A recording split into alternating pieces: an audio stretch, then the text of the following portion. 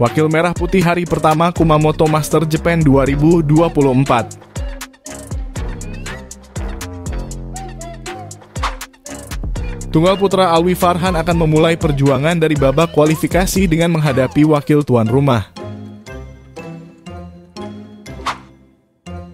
Sementara itu, Siti Fadia Silva Ramadanti kembali dipasangkan dengan Lani Tria Mayasari dan akan menghadapi pasangan nomor satu Jepang. Pasangan ganda putra Leo Roli Carnando, Bagas Maulana akan menghadapi pasangan Taipei pada babak pertama Japan Master 2024. Pasangan ganda putri Jisita Putri Miantoro, Feby Setianingrum akan berjumpa lawan berat asal Korea Selatan Jeong Naun, Shin Seung Chan. Sementara itu rekan mereka Febriana Dwi Puji, Amalia Cahaya Pratiwi akan menjalani partai penutup di lapangan 2 dengan menghadapi pasangan tuan rumah.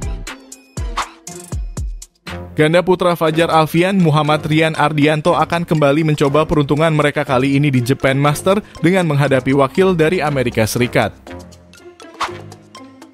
Wakil terakhir di hari pertama adalah pasangan Muhammad Sohibul Fikri. Daniel Martin akan memulai perjuangan mereka dengan menghadapi pasangan Taipei.